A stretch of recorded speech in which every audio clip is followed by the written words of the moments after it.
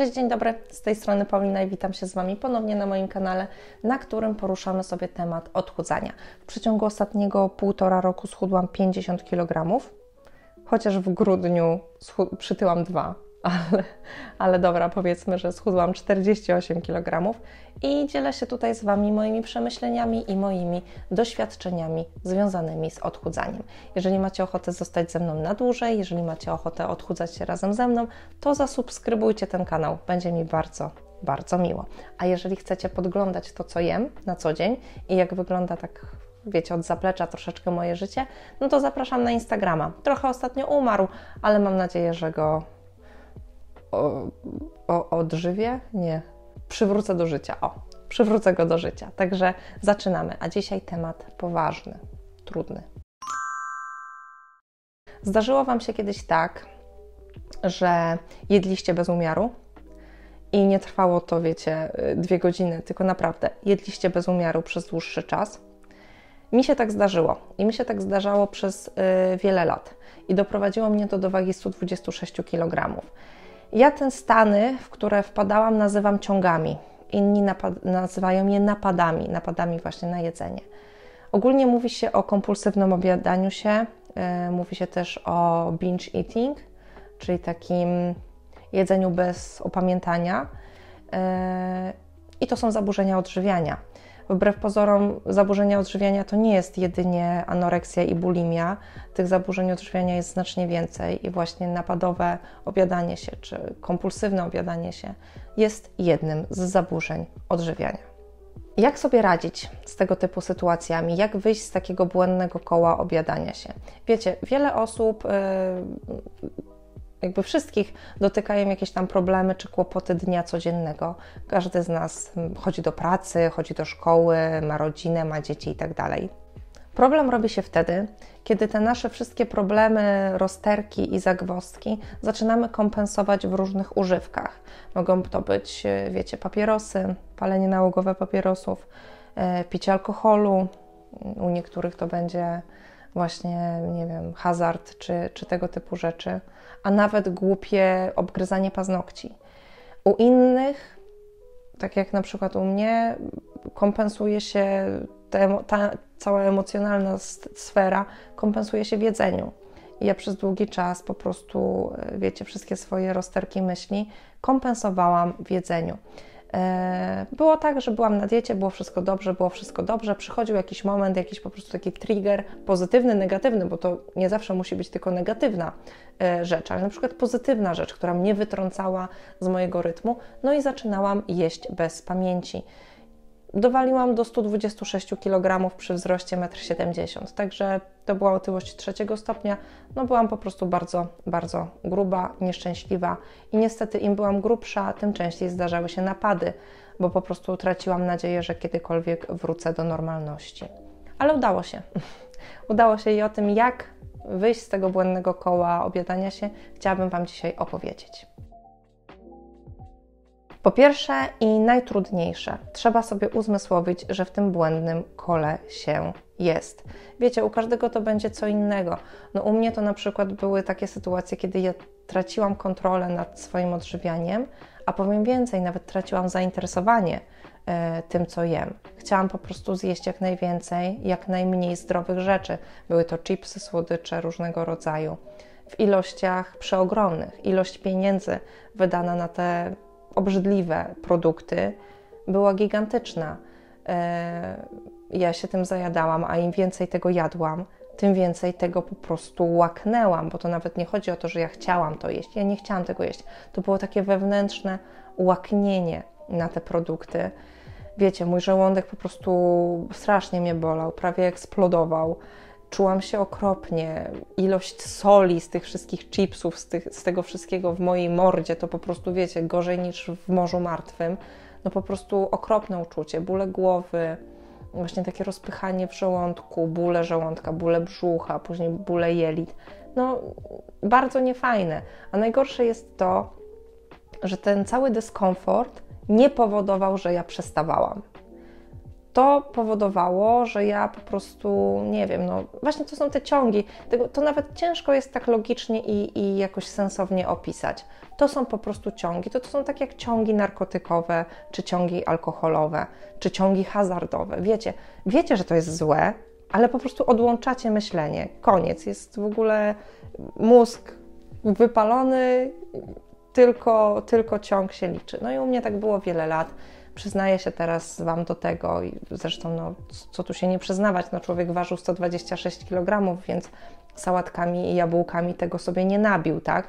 Tylko po prostu właśnie takim niezdrowym obiadaniem się. Najtrudniejsze, co trzeba zrobić na samym początku, w sensie najtrudniejszy jest pierwszy krok, a pierwszym krokiem, przynajmniej w moim przypadku, jest uświadomienie sobie, że w takim napadzie jestem. Jak sobie to uświadomię, to już później jakoś idzie. Ale wiecie, uświadomienie sobie i w ogóle dopuszczenie do siebie takiej myśli, że jest się w napadzie, to jest najtrudniejsze. To jest naprawdę najtrudniejsze. No ale tak, powiedzmy, że już mamy to za sobą. Uświadomiliśmy sobie, usiedliśmy sobie sami za sobą, mówimy sobie, nie wiem, Bożena, nie jest dobrze. Jesteś w napadzie, jesteś w ciągu e, właśnie takiego kompulsywnego obiadania się. Czas coś z tym zrobić. warto by było zreflektować się i zastanowić nad tym, jaki czynnik wywołał u nas ten napad. U niektórych osób będzie to zmęczenie dietą, na przykład zbyt restrykcyjna dieta. I na przykład w momencie, kiedy jesteśmy na takiej mega restrykcyjnej diecie, jesteśmy wygłodniali, nasz organizm jest niedożywiony, rzucamy się na jedzenie. I bardzo często, wiecie, to trwa tydzień, tak? Bo ten organizm, on sobie po prostu mówi: Dobra, słuchaj, nie dawałaś mi jedzenia, jestem niedożywiony, nie mam wartości odżywczych, jestem wygłodniały, potrzebuję jedzenia. Co się dzieje? Czy my umieramy? Czy nie ma, czy jest jakiś kataklizm? Nie wiadomo co. Rzucamy się na cokolwiek, zaczynamy jeść słodycze, wiecie, to co jest naj, najprostsze, to co nam przy, przynosi energię. Super, fajnie, nie ma problemu, tylko że te rzeczy są bezwartościowe, one nie, no, nie niosą za sobą żadnych wartości odżywczych, one nas nie odżywiają.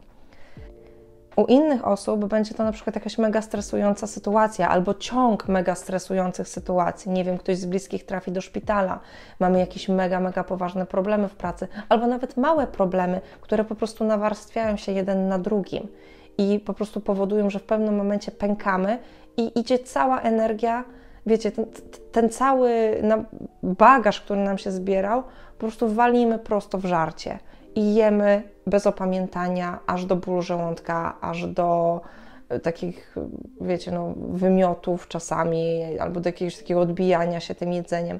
No po prostu cały ten stres, całą tą naszą złą energię walimy w jedzenie, żeby tam po prostu zrzucić to z siebie, zrzucić te, te negatywne emocje, zrzucić ten, ten stres. W ogóle mam takie wrażenie, że bardzo często do tych kompensacji dochodzi wtedy, kiedy te rzeczy się nawarstwiają, kiedy ok, dobra, z jedną rzeczą sobie poradzę, nie wpłynie to na moje funkcjonowanie, ale jak już jest 10, 15, 20, no to po prostu próbujemy znaleźć ujście. I u nas, osób z zaburzeniami odżywiania tego typu, ujście daje po prostu obżarstwo u osób, które na przykład borykają się z anoreksją, ujście daje poczucie kontroli nad jedzeniem, czyli po prostu ograniczenie tego jedzenia do minimum. Każdy człowiek jest inny, każdy człowiek kompensuje te nawarstwiające się problemy w inny sposób. Jedna osoba będzie jadła ponadprogramowo, inna osoba będzie piła, inna osoba będzie paliła, inna osoba, nie wiem, będzie hazardzistą, tak? Takie rzeczy się y, niestety zdarzają i wiele z nas boryka się z takim kompulsywnym E, reagowaniem na, na sytuacje życiowe, tylko że być może u nas jest to jedzenie, a u naszego sąsiada będzie to po prostu coś innego. U mnie takim triggerującym mnie bardzo mocno mm, schematem jest to, kiedy ja z dużej aktywności wpadam w etapy małej aktywności. Nie mówię tutaj tylko o aktywności fizycznej, ale takiej aktywności życiowej i poczucie nudy ja jak się nudzę, ale nie mam na myśli, wiecie, takiego dwugodzinnego nudzenia się przed telewizorem, tylko na przykład trwającego tydzień bądź dwa, e, poczucia nudy, to, to zaczynam właśnie jeść. Zaczynam szukać tej aktywności, tej atrakcji w jedzeniu. I to jest właśnie mój taki triggerujący zapalnik. W momencie, kiedy już mamy uświadomione, że jesteśmy w tym problemie, w momencie, kiedy mamy uświadomiony jakby powód tego problemu, no bo u każdego to może być coś innego, no to przydałoby się wprowadzić jakieś zmiany. Ciężko jest oczekiwać, że wszystko się samo rozwiąże, jeżeli nie wprowadzamy żadnych zmian. U mnie zmianą numer jeden jest usunięcie z mojego otoczenia triggerujących mnie produktów bo ja zajadam się słodyczami i słonymi przekąskami. W momencie, kiedy już wiem, że jest ze mną nie ok, pozbywam się tych rzeczy, nie kupuję tych rzeczy. Staram się, żeby w moim otoczeniu tych rzeczy nie było, ale nie mieszkam sama. Nie mogę moim domownikom narzucać, że teraz ok, słuchajcie, ja y, staram się być w recovery, więc teraz wy musicie pozbyć się tego wszystkiego, co tam lubicie. No nie, no nie można tak funkcjonować. No to też jest, wiecie, wariactwo.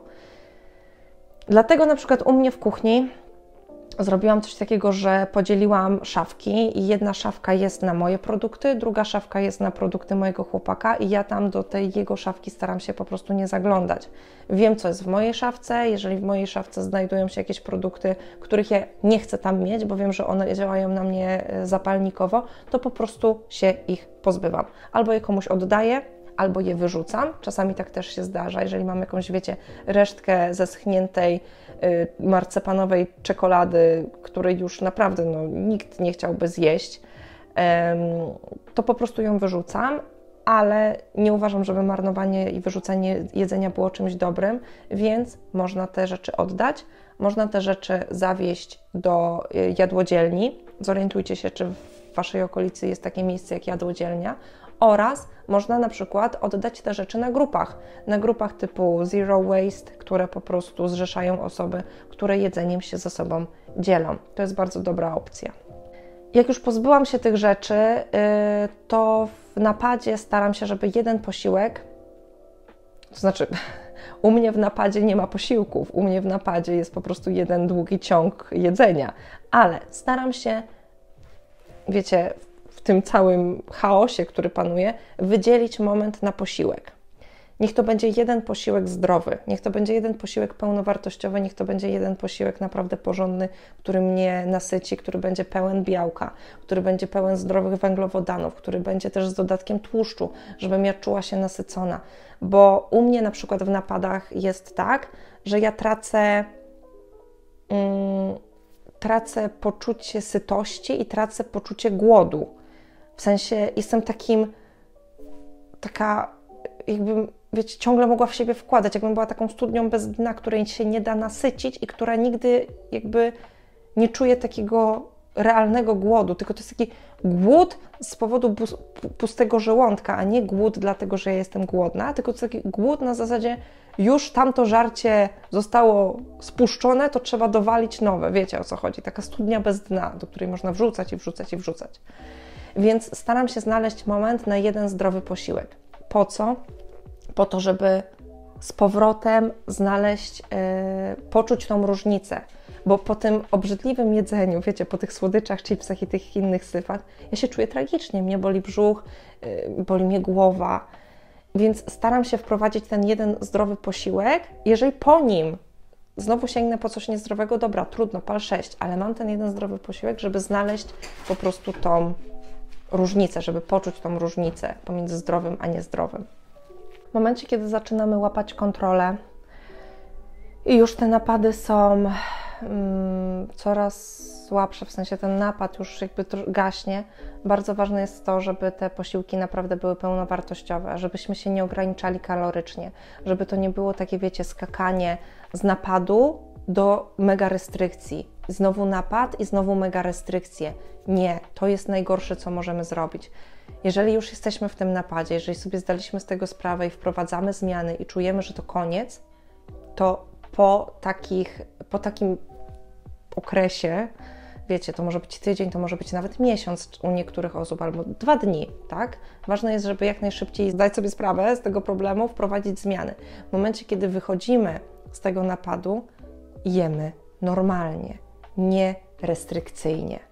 Bo po takich restrykcjach naprawdę obiecuję Wam, miną trzy dni takich mega, mega restrykcji i znowu wpadniecie w napad. Po napadzie normalne jedzenie, normalne śniadanie, normalny obiad, normalna kolacja.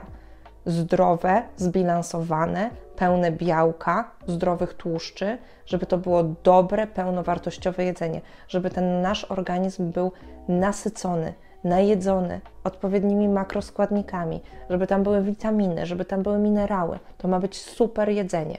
Ja nie mówię, że to ma być jakiś kosmos jedzeniowy, tak? Wy nie musicie teraz lecieć na Sycylię i jeść jakieś krewetki, nie wiadomo co. Nie, normalne polskie zwykłe jedzenie, tylko ono ma być dobrze zbilansowane, ono ma być zdrowe, ono ma być pełnowartościowe. I dopiero po jakimś czasie ja bym na przykład wprowadziła deficyt kaloryczny, jeżeli zależy nam na odchudzaniu ale też wiecie, żeby to po prostu nie było takie skakanie z deszczu pod rynne, bo to jest najgorsze. Ja to przerabiałam latami i to po prostu doprowadza tylko do tego, że w pewnym momencie stajecie na wadze i jest otyłość trzeciego stopnia, a później z tego zejść to jest mega ciężka robota, więc im wcześniej się opamiętamy, im wcześniej wrócimy do normy, do takiego normalnego funkcjonowania, tym lepiej, tym lepiej dla, dla nas, dla naszego ciała, dla naszej głowy przede wszystkim. Bardzo ważne jest to, co słyszę notorycznie od ludzi i strasznie mi z tego powodu przykro.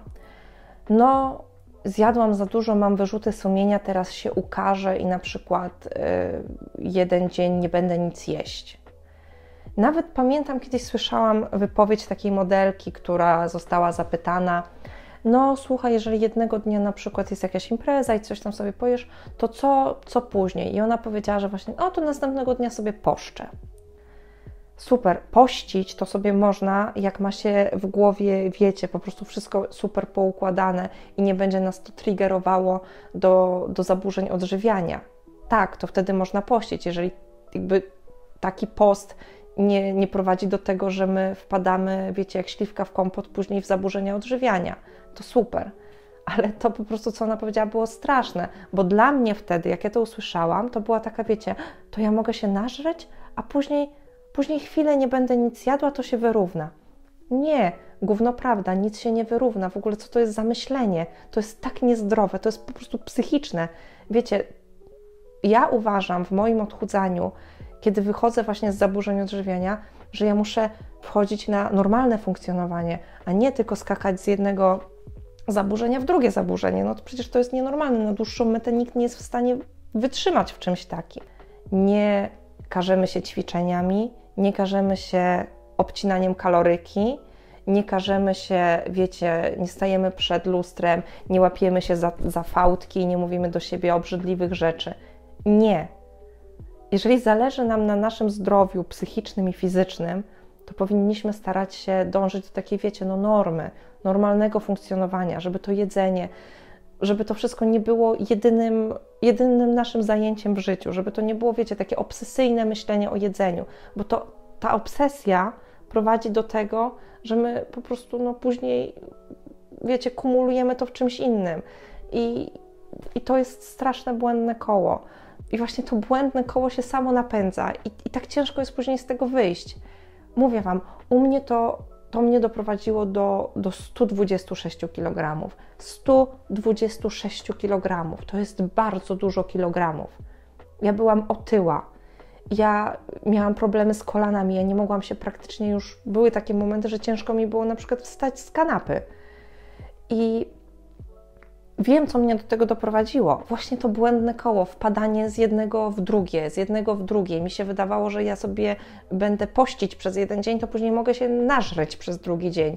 Nie, nie.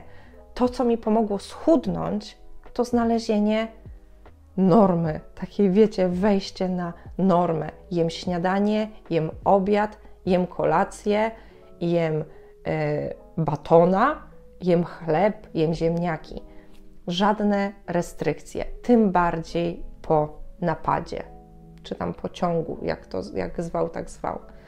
Także tak. To by było na tyle. Ten temat jest dla mnie mega, mega trudny, dlatego że w mojej głowie on jest cały czas aktualny. Wiecie, ja już teraz nie wpadam w takie długotrwałe napady, jak wpadałam kiedyś, które trwały naprawdę długo i nie mam na myśli tygodnia, trwały 3 miesiące, 4 miesiące, pół roku. Takie wiecie, napady, z których ja po prostu nie byłam w stanie wyjść.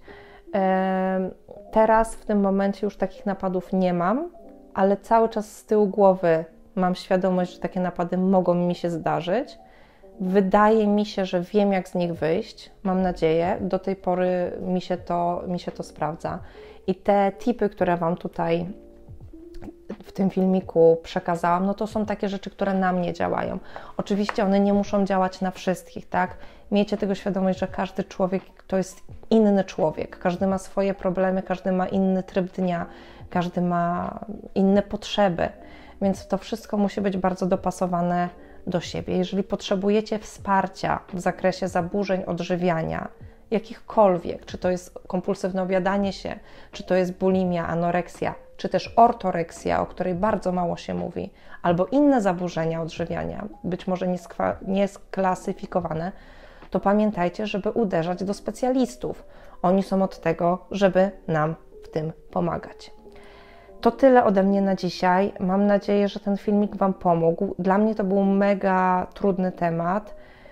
Mam nadzieję, że odbierzecie ten film e, dobrze. Jeżeli macie jakieś swoje przemyślenia, to sekcja komentarzy jest dla Was do dyskusji. Ja wszystkie komentarze czytam, na wszystkie komentarze odpowiadam, także przynajmniej się staram.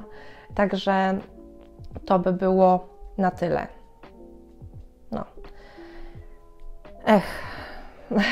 No, niełatwy, niełatwy temat.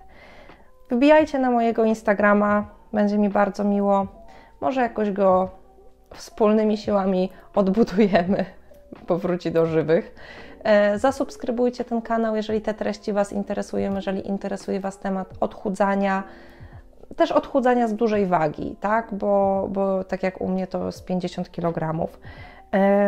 No i tyle. Zapraszam, zapraszam, zapraszam Was do kolejnych filmików. E, było mi bardzo miło tutaj się z Wami spotkać i porozmawiać. I widzimy się następnym razem. Pa, pa.